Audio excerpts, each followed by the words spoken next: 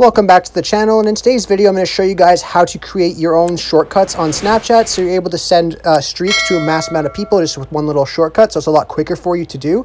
Uh, it's really easy to do, just takes a minute and you just need to update to the latest Snapchat and you'll have this. Uh, so all you have to do to do this is head over to your Snapchat application and open that up. Now once you open your Snapchat you just want to normally take a picture like you normally would for your streaks. So just take your photo. You could add any text if you would like to add text.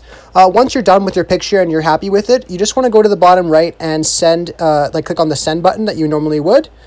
Then you're going to come to your list of friends and stuff like that. Uh, so the only difference you have to do here is you want to click on the send to button at the very top and you'll see that little option that says create shortcut that just popped up. So we want to click on create shortcut and okay. And now we want to add the people that we want to send the Snapchat to. Uh, all we want to do here is you want to click on the, very top and you're able to make uh, a name for it or put an emoji there like the little fire emoji for streaks just like that. And you want to click on the people that you want to add to this shortcut.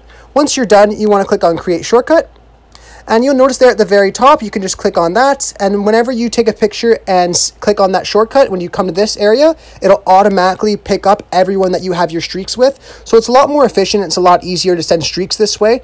I really hope I was able to help you guys out with showing you how to create the shortcut on Snapchat. If it was helpful, be sure to leave a like and subscribe for more tutorials. Thanks for watching.